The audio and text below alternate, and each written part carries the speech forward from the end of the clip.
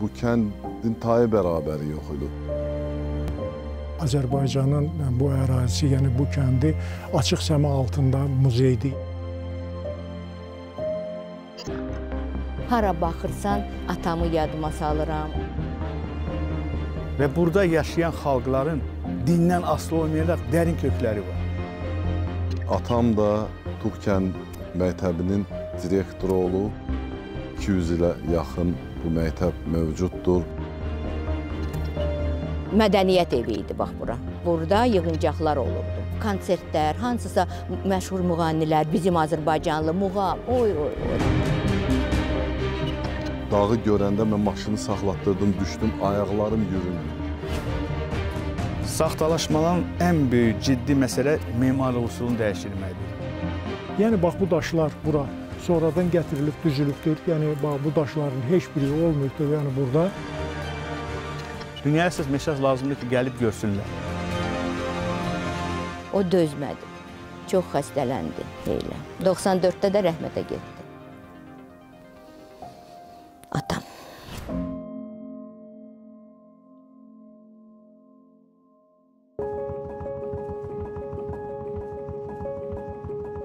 Tuğ kəndi Xocavənd rayonunun inzibati yaşayış mərkəzlərindən biridir. Xocavənd rayonundan Tur kəndinə 53 kilometr məsafə var.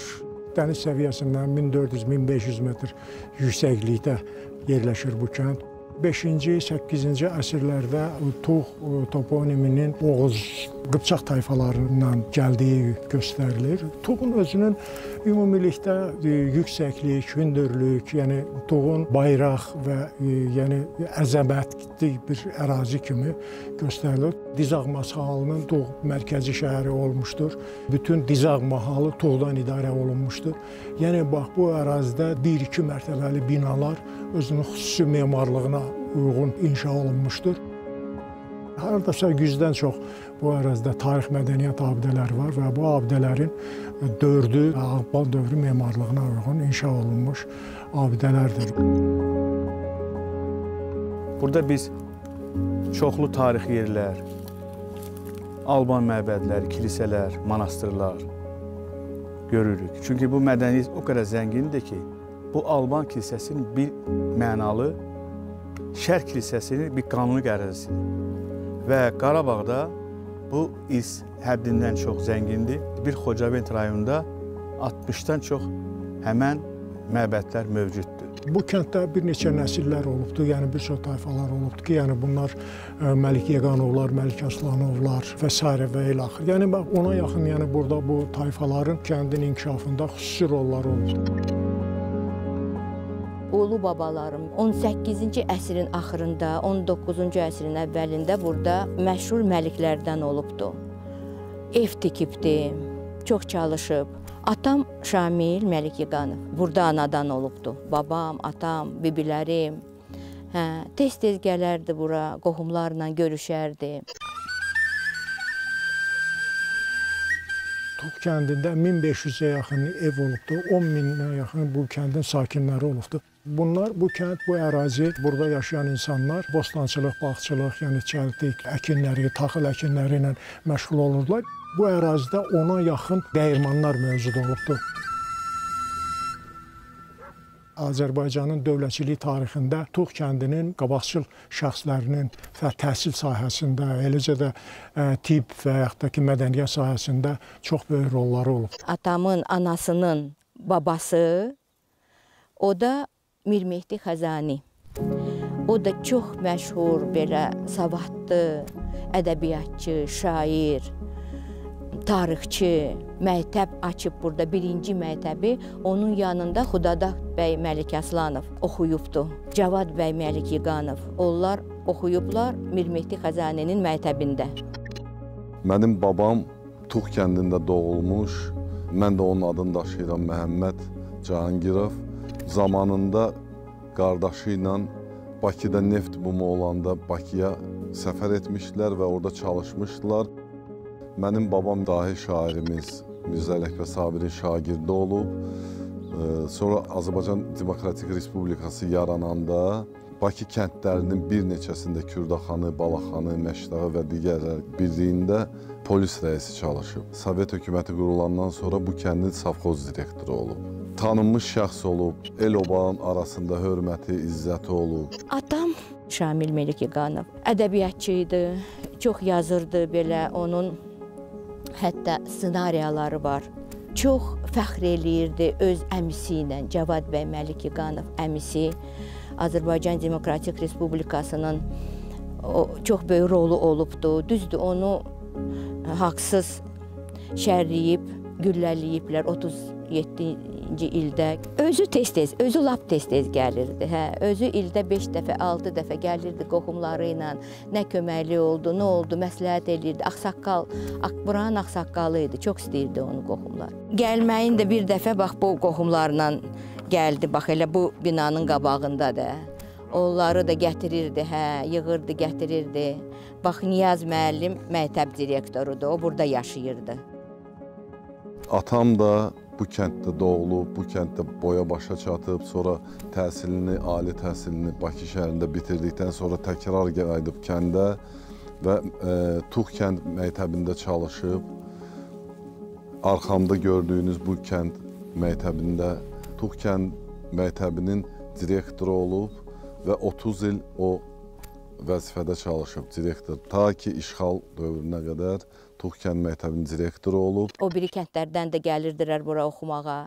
Məni də gətirərdi. Çox belə gözəl xatirələrim var bura ilə bağlı atamla gələndə. Hətta bir dəfə atam burada ağac əkmişdi.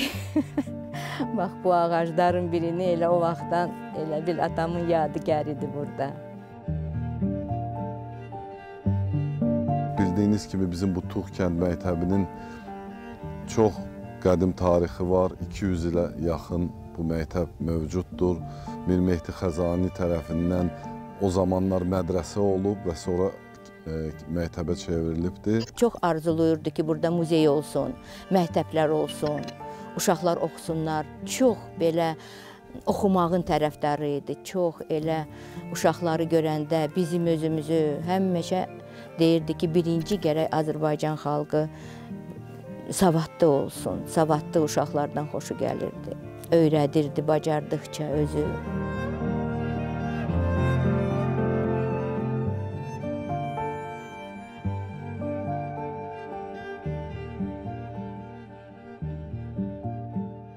Yeganə kənd idi ki, Azərbaycan ərazisində birbaşa Bakıdan Utuq kəndinə avtobus işləyirdi. Gündə gəlirdi və qayıdırdı.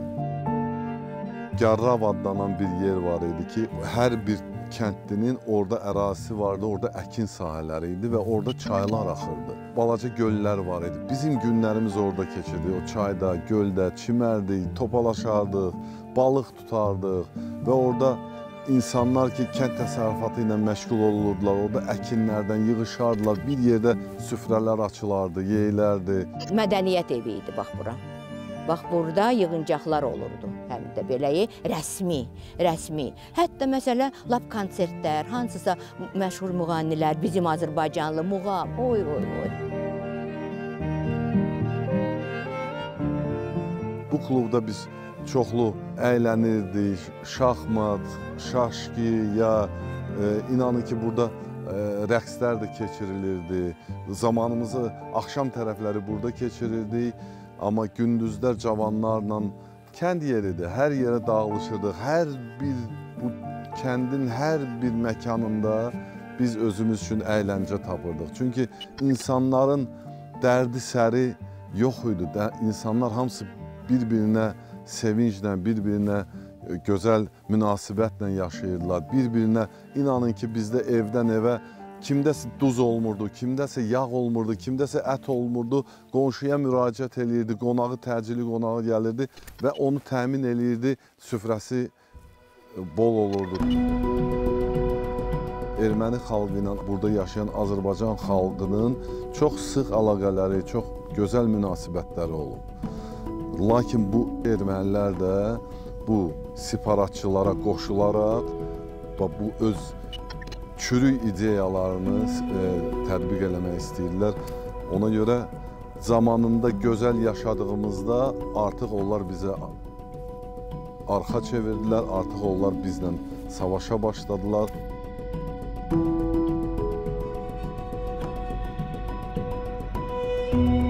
18-ci əsrin axıra kimi, 19-cu əsrin əvvəlinə kimi bütün ədəbiyyatda, qaynaqlarda Alban kilsələrdən söhbət gedir, Alban metropolitdən söhbət, Alban deməli dini xadimlərdən söhbət gedirdi. Çar Rusiyası Qafqazı işğal edəndən sonra bu terminologiya yaddan çıxartdı və bu irs, zəngin irs verildi birbaşa Eçmiəzinin tabiçiliyinə. Və həmən günlərdən, Türkmənçay müqavilədən sonra, Kürəkçay müqavilədən sonra ciddi bir böyük bir proses getdi həmən Alban mədəni irsi birbaşa içməzinə verməklə böyük bir saxtalaşma prosesləri getdi. Deməli, məbədlər erməniləşdirdi. Burada olan icmalar, Alban kilsənin icmalar bir tərəfdən böyük bir hissəsi erməniləşdirdilər.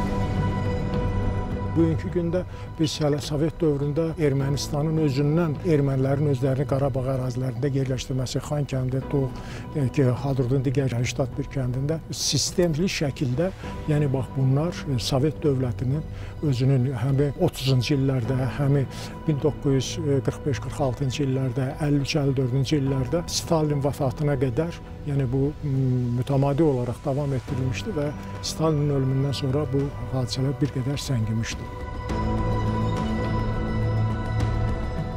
Burada məskunlaşdırılan ermənilər bu ərazilərdə, yəni bu kəndin özündəki bütün mədəni irs, Azərbaycanın bütün mədəni irsinə və onun tarix mədəniyyət abidələrinə sahib çıxıbdılar.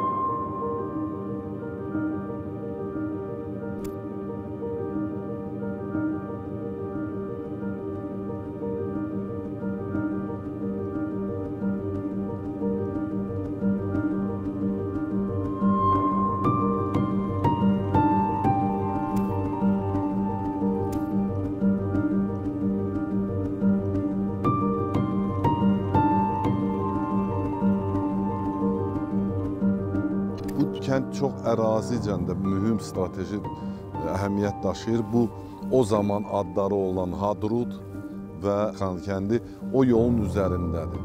Və o yolun üzərində ermənilər təhlükə bildiyi üçün 92-ci ildə elə bu məsələlər Qarabağın üzərindəki bütün bu məsələlər, işğal məsələsi elə ilk başlayaraq Tuğ kəndindən başladı. Qədim dövrdən indi adlandırırdılar ki, yəni qədim qala şəhəri. Yəni Tuğ e, kəndini götürməklə Hadruta keçid əldə eləyirdilər və digər ərazilərimizə keçid əldə edirlər. Zəngilan, Cəbrayıl ərazilərinə keçid əldə eləmək mümkün idi. Yəni bu Tuğ yüksəkliklərinin götürülməsinin əsas məqsədi də bu idi ki, ilk növbədə yəni bu yüksəkliklər götürülür və sonradan o e, davam eləyir və ərazilərimiz doğrudan da 1992-ci ildən sonra artıq bütün Qarabağ ərazisi tamamilə işğal altına düşdü. Yəni Tuğ kəndinin əhalisinin e, ermənilər, silahlı qoşunlar və Ermənistandan gələn separatistlərlə birgə qoşulub Azərbaycan Azərbaycan xalqından olan, Azərbaycan millətindən olan insanları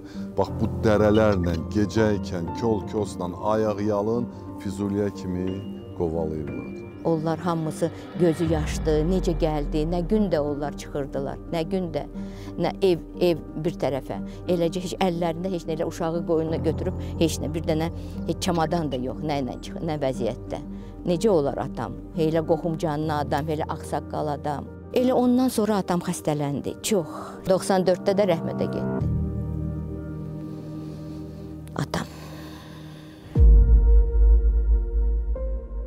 Bilirsiniz, ermənilər son 28 il ərzində işğal altında saxladıqları bax bu ərazilərdə ə, saxtalaşdırma bir neçə istiqamətdə aparıldı. Yəni bax bu birincisi deyək ki, divarlardan daş, bədii daş nümunələrinin dəyişdirilməsi, divar yazılarının dəyişdirilməsi, ornamental nümunələr dəyişdirilməsi və yaxud da ki, bu erməni mədəni irsinə uyğunlaşdırılması prosesləri gedirdi.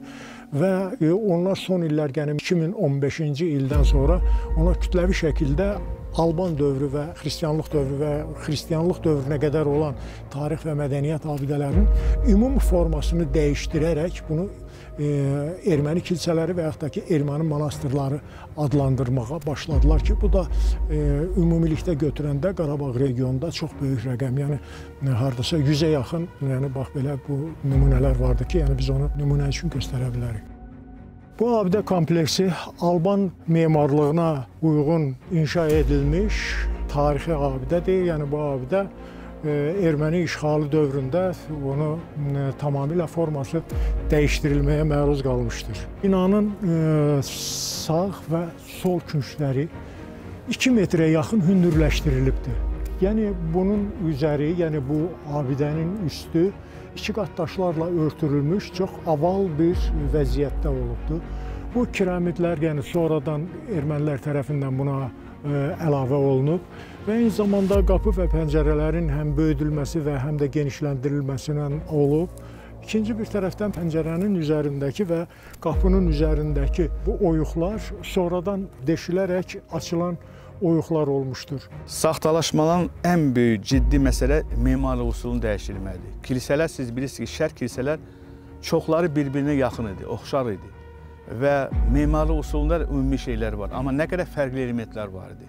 Bütün şərq kilsələr o cümlədən Alban kilsəsinin simvol elementlər fərqli idi. Mən demək istəyirəm bunların xaçı, sonra bunların altar hissəsi, giriş qapıların mövcudluğu, balaca olmağını. Demək istəyirəm ki, burada əsas məsələ memarlıq usuluna birinci, sonra bura gələn, burada gələn deməli, e, bərpa işlərində mən nəzərə alıram e, həm orta əsrlərdə, sonra 18-19-cu əsrlər və hətta işğalda olan vaxtlarda bu kilsələr birbaşa erməni kilsəsə uyğun dırnaq arası bərpa olunaq və saxtalaşdırıblar. Zəng qülləsi ümumilikdə xristian kilsə və monastırlarında insanları ibadətə dəvət olunması üçün, yəni istifadə olunan bir qurğudur ki, bu binaların yanında və ya üzərində qurulur. Faktiki olaraq bu binanın əgər siz içərisindən baxsanız, o zəng qülləsinə orada heç bir e, giriş yoxdur. Çünki oradan ip sallanmalıdır aşağı və o iplə o zəng orada səsləndirilməlidir.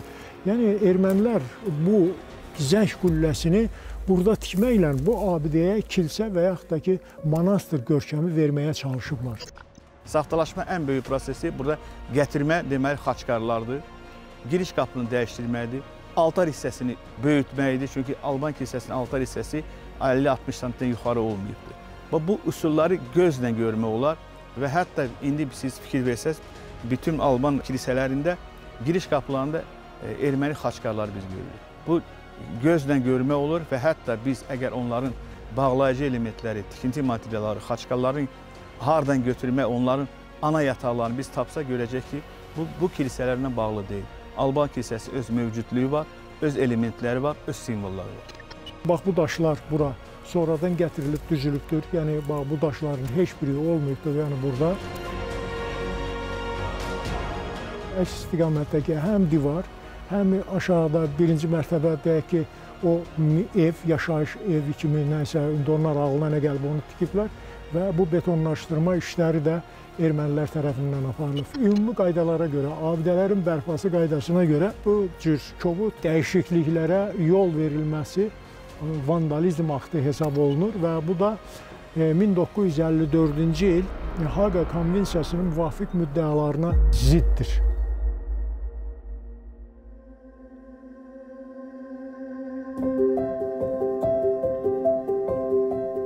Mən inanıram ki, gələcəkdə bu mədəni irs e, Azərbaycan birbaşa sahib kimi, birbaşa onun varislər kimi bərpa olunacaq. Çünki mən bir Alban xristian icmanın bir e, aparıcı din xadimi kimi inanıram ki, çünki bu çətin vaxtda 44 günlük müharibə vəziyyətində məhz Azərbaycanda Müqəddəs Məryəm Ana kilsəsi bərpa olundu və bizim icmaya verildi.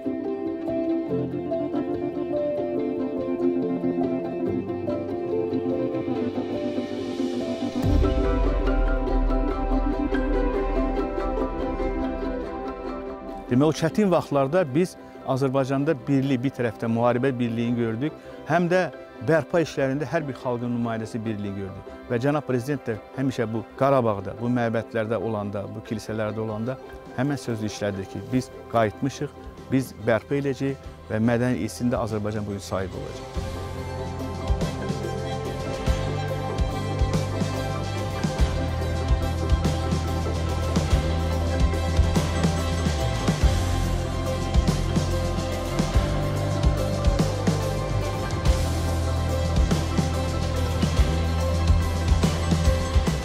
Tux kəndinin e, keçmiş memarlıq üslubu özünə qaytarılmalı və Tux kəndinin adət-ənənələri yerinə gətirilməlidir ki, yəni bax bu nəinki həm insanlara zövq verəcək, yəni həm insanları rahatlaşdıracaq və eyni zamanda Azərbaycanın dövlət büdcəsinə xeyli sayda turizmdən gəlir gətirəcəkdir.